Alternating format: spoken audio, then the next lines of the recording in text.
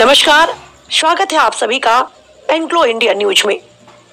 खबरों से जुड़े रहने के लिए चैनल को लाइक व सब्सक्राइब अवश्य कर लें, ताकि खबरों की अपडेट आपको हमेशा मिलती रहे। लालपुर व लोधनपुरवा में गेहूँ की फ़सल वाले खेतों में लगी आग। बिलोर थाना क्षेत्र के लालपुर गाँव में गेहूँ की खड़ी फ़सल में आग लग गई। लगभग पाँच बीघे गेहूँ जलकर राख हो गई। गाँव के लोग आग बुझाने में जुटे और वहीं दूसरी तरफ़ लोधनपुरवा गाँव में भी कई बीघा के गेहूँ की फ़सल में आग लग गई। ग्रामीणों ने कड़ी मशक्कत के बावजूद नियंत्रण नहीं कर पाया और ग्रामीणों को चिंता की कई बीघे में पहुँच सकती है आग के लपटे। संबंधित प्रशासन द्वारा ध्यान देने की आवश्यकता है। खबर लिखे जाने तक दमकल की गाड़ियाँ नहीं पहुँची थी खेतों तक।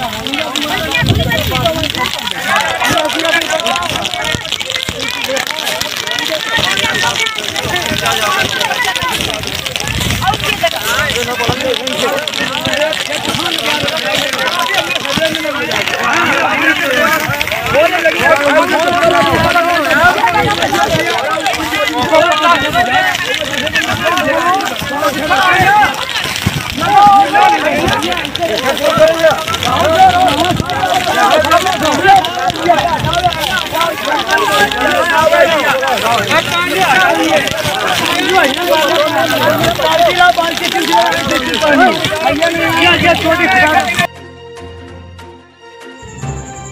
देख रहे हैं एंग्लो इंडियन न्यूज़। खबरों से जुड़े रहने के लिए चैनल को लाइक और सब्सक्राइब अवश्य कर लें ताकि खबरों की अपडेट आपको मिलती रहे।